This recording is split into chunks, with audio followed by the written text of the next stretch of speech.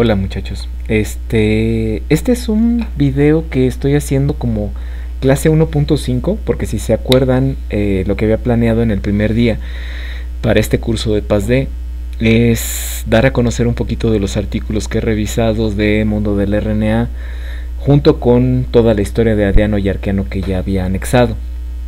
En este caso eh, anduve buscando en mi en mi este cómo se llama en mi acervo de de este cómo se de muchas de las ideas que les estuve platicando. Y quiero comentarles algo. Lo primero es dar a conocer y don, honor a quien honor merece. Este estas son esos son tres trabajos que había revisado en su tiempo que este que el primero es de Kunio Kawamura, es de los mejores revisores de este tema, que de hecho tiene un artículo, me parece, que es el de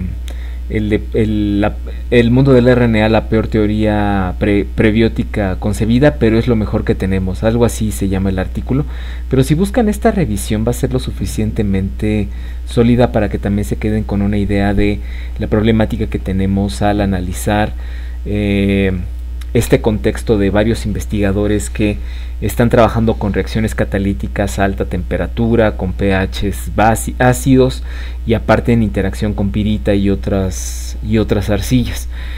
Eh, el otro trabajo es un trabajo que realizó el, grupo de, el grupo de trabajo de origen de la vida junto con Fabián Reyes Prieto y Ricardo Hernández. A Ricardo yo, yo lo recuerdo mucho que estuvo trabajando con esa tabla, pero a tasajo, a mano, y es un trabajo exhaustivo y muy bueno.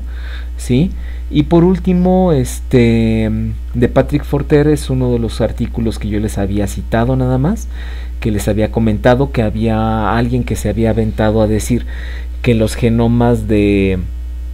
que los virus de RNA pudieron haber sido originados por parásitos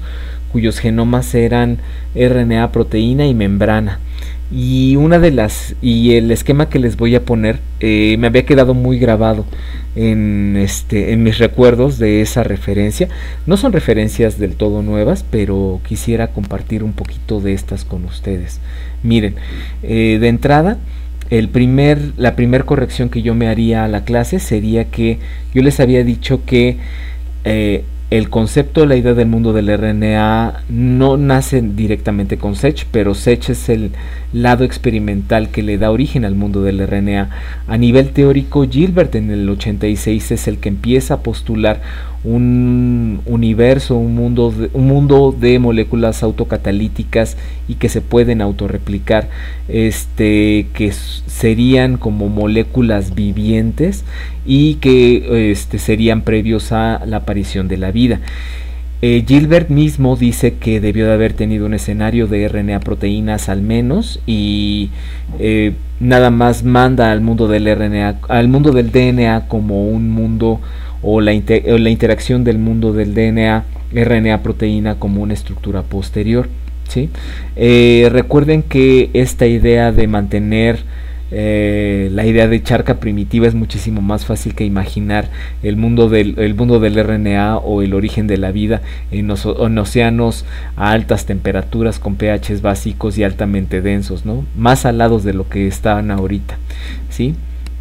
Este, estos son de los de los comentarios que hace Kawamura, en donde, y me parece que Patrick Forter, que es el que hizo la referencia de biochimí,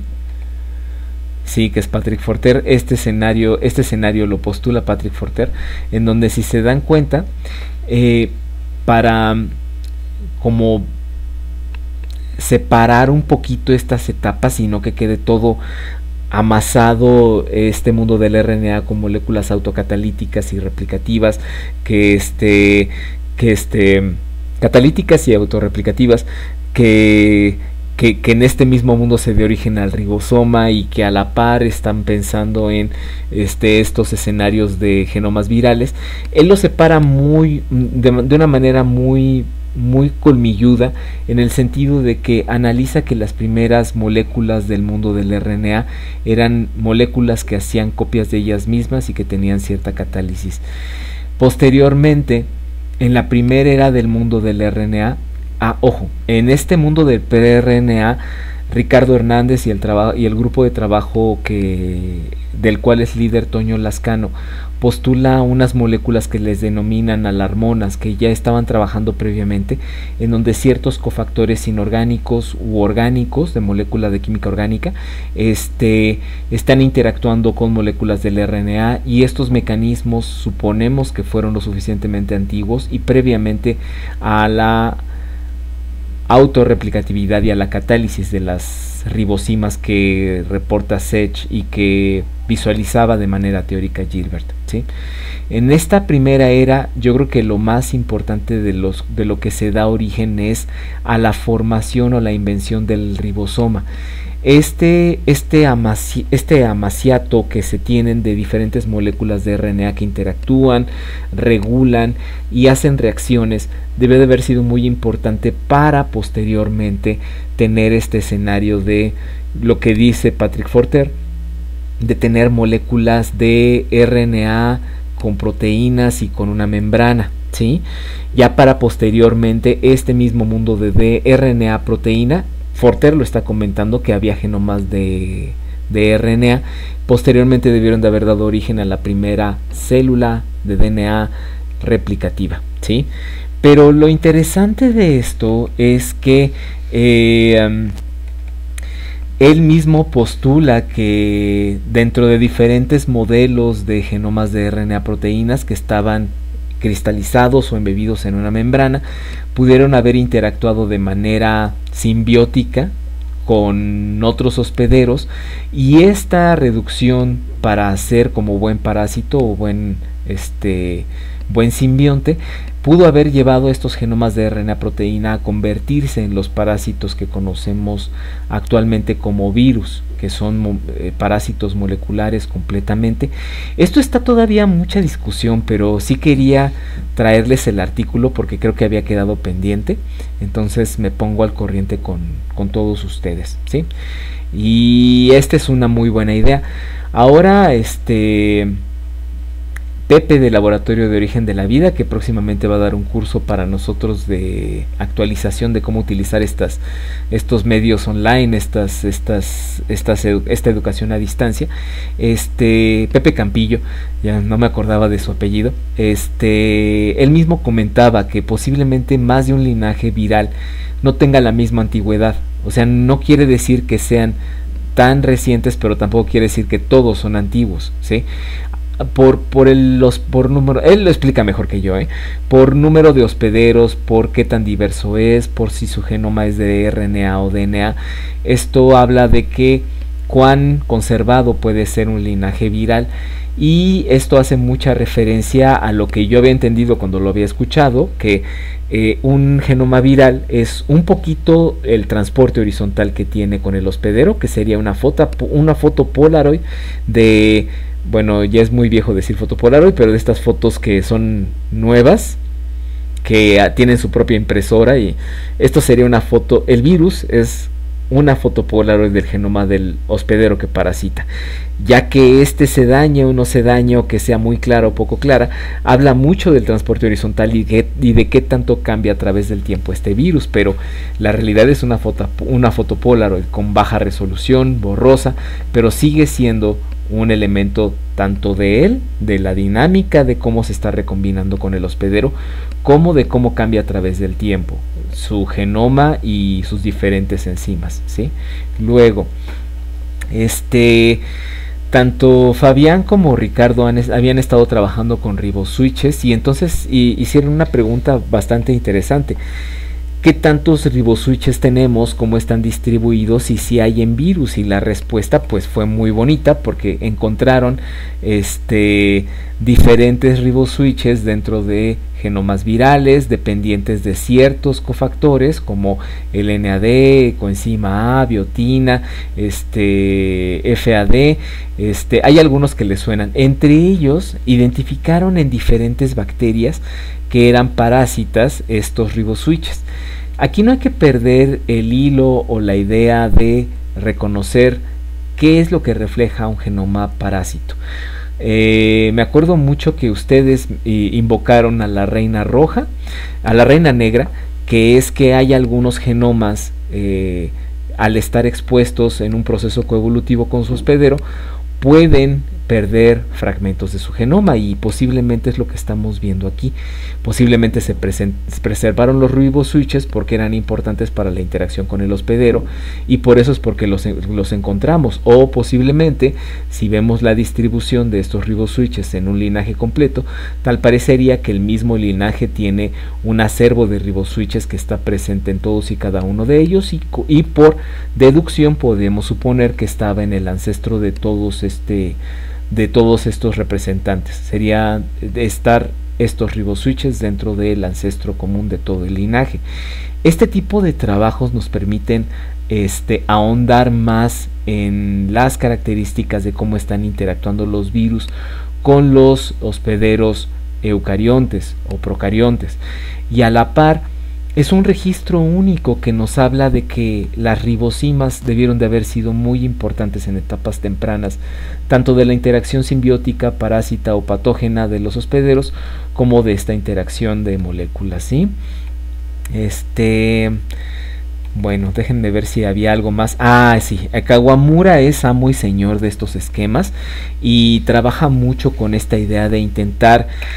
confrontar la teoría del, y el mundo del RNA con las evidencias que tenemos de manera teórica, de manera de biología, eh, resultantes de la biología comparada, del método comparado, y a la par es lo que eh, no quita en ningún momento esta idea o estos reportes que haya mucha evidencia de eh, reacciones químicas que inducen la catálisis de diferentes biomoléculas que tienen un componente hipertermófilo, o sea que se llevan a cabo en altas temperaturas con pHs ácidos o básicos y que posiblemente nos da una pauta de que el ancestro común podría haber sido hipertermófilo.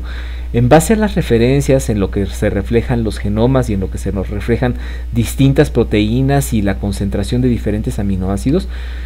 eh, yo, yo, Héctor Vázquez, podría pensar que el origen de la, de la vida y los, el último ancestro común debió de haber sido originado dentro de un eh, contexto mesófilo, porque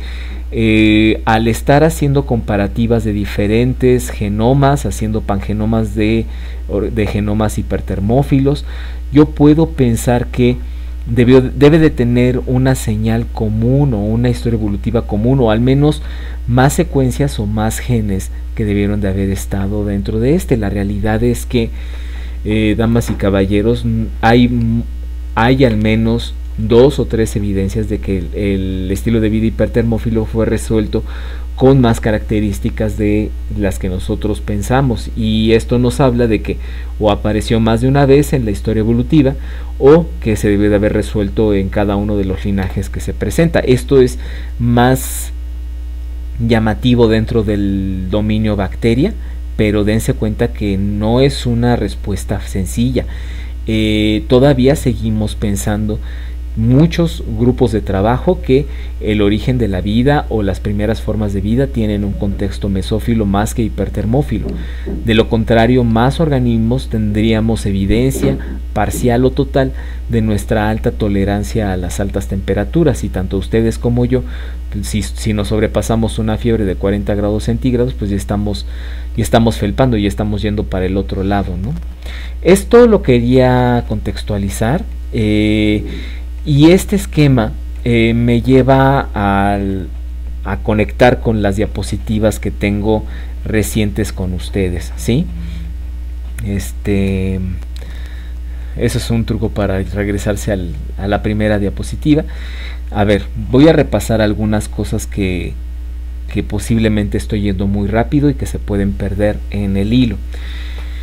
Nosotros pensamos que de las primeras moléculas que se sintetizaron, que se vinculan con las biomoléculas de toda la biodiversidad, son moléculas de RNA. Estas moléculas de RNA tenían un fenotipo y genotipo combinado, que quiere decir que tenían una capacidad de ser catalíticas y aparte de autorreplicarse. Estos sistemas nos lo hemos visto por distintos autores que al introducirlos dentro de un sistema de membranas nos da una pauta de mantenerse más estable. Y esto nos habla con la idea o el concepto que dice el Patrick Forter, que posiblemente, posiblemente hubo genomas de RNA. ahorita en esta en la diversidad que tenemos actualmente que hemos estado estudiando no encontramos ni un genoma de RNA y eso eh, dificulta mucho su propuesta pero hay que tenerla siempre en a mano, así como otras teorías. Nunca hay que casarnos con una teoría porque capaz si nos da una sorpresa interesante eh, el muestreo que se está haciendo actualmente a nivel ambiental, así como mecanismos que podríamos estar pensando que eran recientes y que podrían, estar, podrían ser antiguos e incluso ancestrales. ¿sí? Eh, nosotros podemos estar pensando un escenario en donde hay RNA catalítico que está interactuando con otras moléculas y está vinculado a reacciones específicas tanto de síntesis como de corte de aminoácidos y nucleótidos. ¿sí? Eh, esto creo que ya lo habíamos comentado al menos de manera escueta en la clase y también lo digo de una manera muy simplificada en este escenario, porque si no, no me va a dar tiempo de platicarles que Actualmente ya tenemos una muy buena idea de la diversidad molecular que tenemos de diferentes ribosimas. Podemos tener estructuras de Hammerhead que tienen dos loops en sus orillas y ya luego se ramifica en un se ramifica en un este cómo se llama en, en el ensamble de dos eh, cadenas antiparalelas que son complementarias y que forman como exactamente como una cabeza de martillo puedo tener estructuras de hairpin que están interactuando con el sustrato. Si se dan cuenta, esto simplemente dos secuencias complementarias y un loop, a eso como tal se le denomina un hairpin, hace referencia a un pasador, ¿no?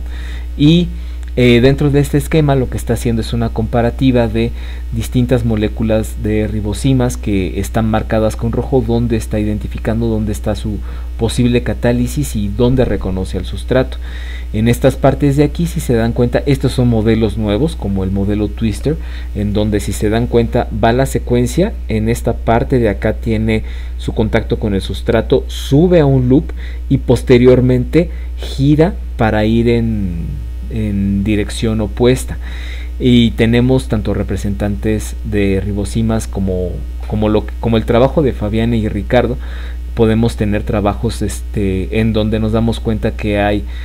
ribosimas representantes representadas en los genomas bacterianos, en genomas eucariontes y, e incluso en genomas virales. Y esto es importante de notarlo, porque ahora lo que nos hemos dado cuenta es que las ribosimas pueden funcionar como parte de estos biocircuitos o circuitos que funcionan a partir de una biomolécula la cual genera un cambio estructural a cierta concentración de un sustrato. Puede estar alterando, este, puede utilizarse en los genes reporteros para que a partir de un sustrato se active y pueda tener un resultado, como en el caso de la proteína verde fluorescente, puede estar teniendo un papel a nivel biológico en la regulación de la expresión génica, ya sea que con, con, con la ribosima pegada o siendo despegada de este sustrato puede o no expresarse este gen. Por último, puede tener una actividad completamente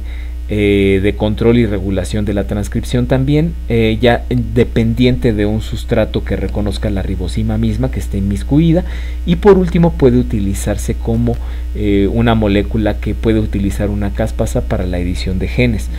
A nivel de expresión génica, si se dan cuenta, tenemos ambos modelos. Podemos tener una secuencia un RNA mensajero que tiene la parte, este, en la parte final, en la parte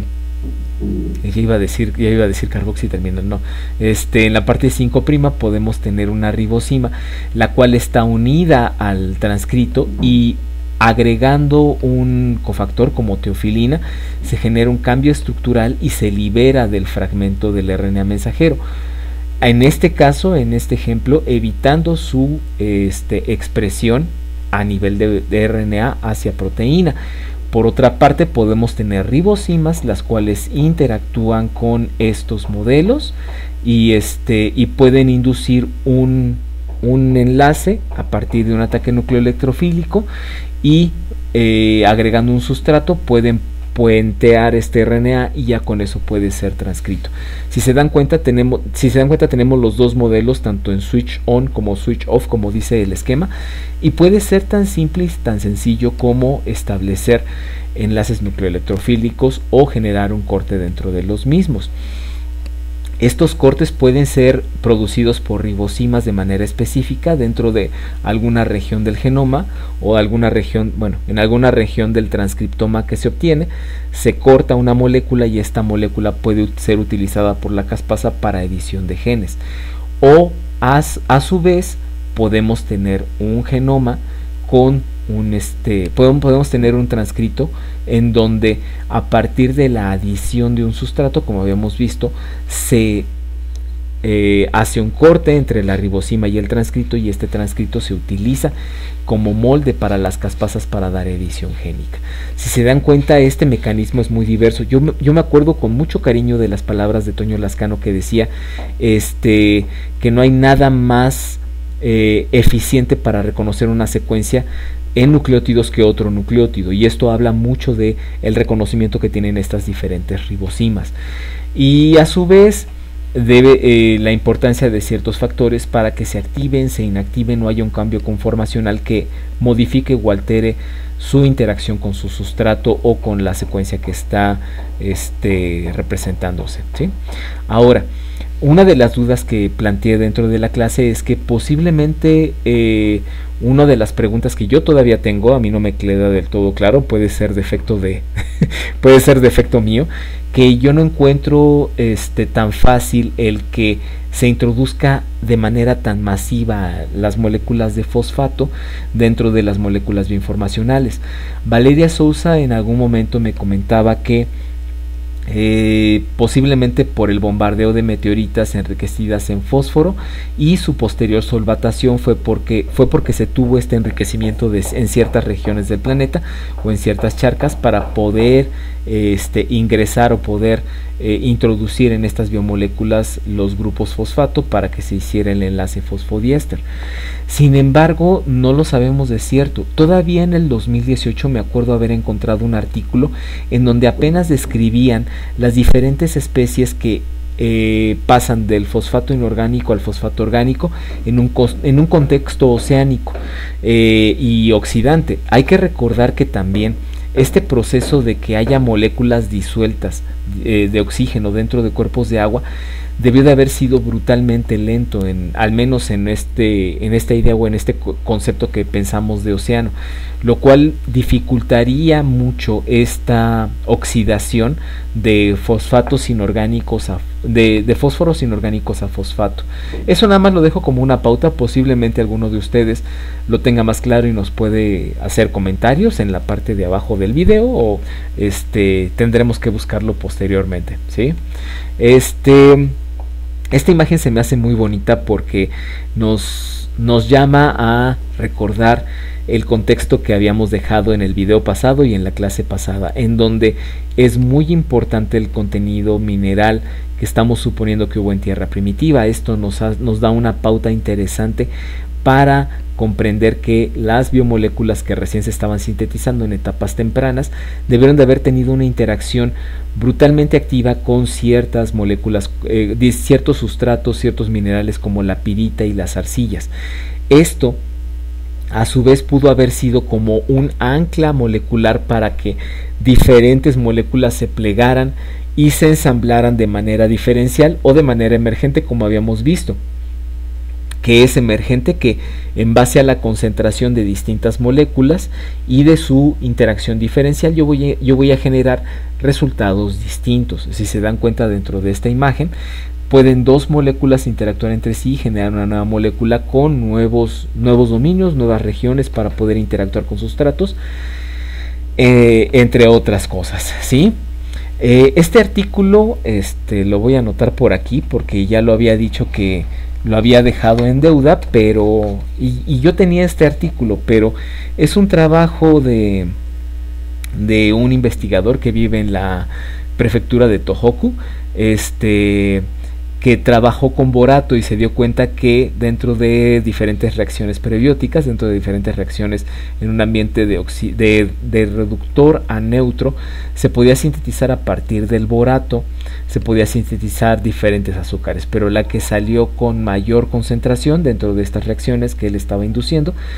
es la ribosa. La ribosa parece estar interactuando con diferentes sustratos y facilita más esta interacción que nosotros veíamos en este escenario. Lo cual quiere decir que si bien el borato utilizando estos, estos sustratos de minerales, de arcillas, pudo haberse originado en mayor concentración un solo tipo de azúcar que es la ribosa, esta ribosa puede estar implicada en la formación de las primeras moléculas de RNA. Es un poquito enredado, pero espero que lo hayan seguido. Es como pensar que hay un alto contenido de borato en contacto con eh, agua, minerales y radiación. Estas interacciones, incluso con un pH ácido, así les volveremos un pH ácido, debió de haber sido uno de los componentes para que se sintetizara en mayor medida la ribosa. La ribosa, al interactuar con estos mismos minerales y con diferentes nucleótidos, debió de haber permitido la interacción de, eh, de, de estas cadenas de RNA que están interactuando entre sí. Ahora, este artículo me gustó mucho desde la última vez que lo estuve revisando. Este artículo este, de Higgs y Lehman habla de esta idea o de este comportamiento de evento emergente que nos permite no solamente resolver en cierta medida que el DNA es una de las moléculas que está más distribuida en diferentes contextos biológicos, en diferentes sistemas vivos, eh, no es solamente por eso importante, sino también es importante porque debió de haber sido uno de los elementos que debió de haber sido eh, sintetizado de manera temprana por eh, y precedido por estas alarmonas y cofactores orgánicos. Para llegar a este tipo de esquemas que los mismos autores Higgs este, comentan que si bien una sola molécula puede tener una sola reacción la interacción y la concentración que se tienen de otras moléculas puede ser variable y esto aumenta el número de eh, especies que pudieron haber estado en interacción y pudo haber generado diferentes cascadas y señales de y diferentes modelos de RNA que estaban interactuando en esta tierra primitiva. ¿sí? Eh, si se dan cuenta de todas las flechas y posibilidades nos da una pauta para pensar en que había más de un resultado y más de una versión de cómo estaban interactuando simplemente dos moléculas entre sí y estas mismas dos moléculas pueden ser más largas, más cortas, pueden interactuar, pueden inducir este, diferentes longitudes y diferentes regiones de interacción con el sustrato y eso da una pauta de diversificación bestial, al menos a nivel de este proceso emergente. Si se dan cuenta, de todas formas, una molécula catalítica no va a cambiar en mucho de su eh, región complementaria, entonces se tendrían que estar imaginando nuevas moléculas que estén interactuando entre sí. Este artículo, que también es una referencia muy bonita, que no tiene ningún tapujo, que es un, un artículo que le pidieron escribir a Jeffrey Tai Fei Wong, que se, se, este, ¿cómo se llama? Que como les digo no es tan nueva, que es de 2014, postula que no solamente estas interacciones debieron de haber sido emergentes, sino que pudieron haberse presentado eventos de equivocación en donde algunas ramificaciones o algunos modelos de RNA eh, pudieron no haber tenido un escenario tan prometedor para preservarse en la historia y para estar armando este tipo de genomas, sino posiblemente este pudo haber habido estas interacciones, estas interacciones eran laxas, eran este comillas abiertas y esto permitió que la diversificación de diferentes especies, tanto recientes como tempranas, se generaran dentro de los genomas, dentro de estos genomas. ¿sí? Eh, no hay que perder nunca de vista que estas ribosimas están interactuando con este azufre, nitrógeno, dióxido de carbono, iones metálicos para empezar a armar y estructurar estas interacciones, ¿sí? Lo que visualizaron Ricardo Hernández, eh, Fabián, este, Fabián Cortés y, este, y el grupo de trabajo dirigido por Toño Lascano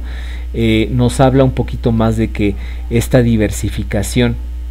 de ribosimas nos da para pensar en un mundo antes del mundo del RNA y en las consecuencias del mundo del RNA, tanto en la diversificación temprana como ancestral. Una última molécula que les quería mostrar con este contexto, déjenme ver cómo vamos de tiempo. Ah, vamos muy bien. Es la molécula que les llamó mucho la atención a ustedes, que es el RNA circular, que al menos tiene tres versiones distintas, bueno, tiene dos versiones distintas de cómo plegarse. Casi siempre estas moléculas de RNA circular se encuentran en genomas eucariontes, no se han descrito en genomas procariontes porque si se encontraran nos llamaría muchísimo más la atención de cuál es su papel en etapas tempranas de la vida y en etapas tempranas de los sistemas informacionales. Vean, estos sistemas como buenos este, sistemas eucariontes, inducen, un, inducen dos versiones al menos de cómo eh, se haga el plegamiento y cómo se haga el splicing de, este, de estas regiones. Por una parte pueden dejar un hairpin, pueden dejar una estructura de RNA a nivel de pasador en el RNA mensajero y queda fijado de esta forma y se hace un splicing como se denomina en la imagen, un splicing canónico. ¿sí? Este, voy a escribir aquí este de ponerles la este, la referencia de la referencia de la ribosa y de la referencia del artículo que estamos mostrando aquí ¿sí? Y puede generarse una estructura de loop la otra es que se genere un corte adicional dentro de estos dos exones. Estos dos exones se quedan separados y ya quedan completamente listos para su procesamiento en el ribosoma. Y en esta parte puede quedar unas hebras de RNA, las cuales posteriormente se van a fusionar a manera de un lariat. Esto me acuerda mucho de cuando estábamos, este, cuando estaba yo exponiendo la, replicación de un plásmido y esta, y esta replicación o de una molécula de, de DNA circular este, en donde estaba Luis de Lalle y Arturo Becerra. Y ellos mismos, cuando les dije, pues la Ariat, ah, sí, la Ariat, y estas moléculas, este, hacen exactamente esa referencia. Fíjense hasta dónde me acuerdo, ¿no? Y esta, es, es, esta molécula está muy vinculada con posibilidades de pensar de que haya estructuras Lariat en un metabolismo de RNA. Como les digo, yo no podría suponer su su interacción en etapas tempranas del mundo del RNA, ya que solamente está representado en eucariontes, pero ahorita lo que les voy a mostrar es algo que posiblemente les va a hacer soñar, encontrar RNA circular, eh, porque aparte habla de exones e intrones y eso es una estructura completamente de origen eucarionte. Pero si, si quieren soñar o si quieren pensar en ese tipo de escenarios, se van a dar cuenta que el RNA circular en eucariontes también puede utilizar ribosimas para hacer este splicing y, quedar, y dejar moléculas circulares de RNA. Las mismas ribosimas pueden meter su cuchara en sistemas de transcripción para tener una afinidad mayor o menor por ciertas señales o por ciertos sustratos o a cierta velocidad que se esté transcribiendo. Y por último estas moléculas de RNA circular se les ha vinculado con una, con una adhesión a moléculas de microRNAs. Esto permite que se tenga una mayor vida media o que se preserven estos mini RNAs unidos o pegados de manera específica o inespecífica a RNA circular. Eh, puede tener una interacción con una proteína que es la RBP, que es eh, RNA Binding Protein, que lo que habla es que puede haber una interacción y, nos hace cuestionarnos qué tan viejas son estas RBPs, si son de origen eucarionte o si podemos pensar que había este, homólogos en, a nivel bacteriano. ¿no? Entonces ambos, ambos sistemas, tanto la adición de mini RNAs como de proteínas de unión a RNA nos hacen soñar de que estos modelos pudieron haber estado en una etapa temprana también del mundo del RNA, aunque yo no lo creo, pero este vamos a dejar la pauta de que posiblemente algo similar a estos RNA circulares eucariontes pudieron haber estado en etapas tempranas del mundo del RNA. Muchachos, ahora sí rompí récord, este, en el sentido de que al menos no me tardé los 40 minutos que me había tardado en la primera, en la primera escena. Este, espero que haya quedado bien y que ya lo pueda subir. Este, muchas gracias por su atención. Agradezco al Laboratorio de Origen de la Vida que me dio mi licenciatura y mi doctorado. Agradezco al laboratorio de genética con el que estuve trabajando con América Castañeda, eh, que también me estuvo ayudando mucho para tener una visión más integral de la genética y de estas interacciones de biología molecular. Y agradezco ahorita eh, a la doctora Alicia Negrón, al doctor Alejandro Heredia y este y al Instituto de Ciencias Nucleares que gracias a ellos estoy aprendiendo como perro viejo voy estoy estoy intentando aprender nuevos trucos. Entonces les dejo este video. Este si quieren escuchar más de estos videos este esto ya suena muy youtuber pero se los dejo. Eh, no olviden suscribirse no olviden este para que también pueda seguir su pista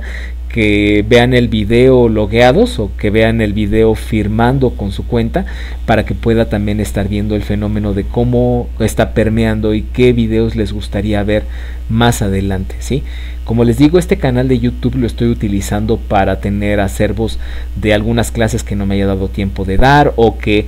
como en este caso del curso de Paz de que no dio oportunidad de grabarse y ahorita estamos teniendo la posibilidad de grabarlo con este tiempo y con, con todas las con todas las previsiones de, de este de este tiempo de pandemia no entonces este aprovecharlo todo. Muchas gracias y nos vemos en, en próximos videos. Suerte y, y este y nos vemos muchachos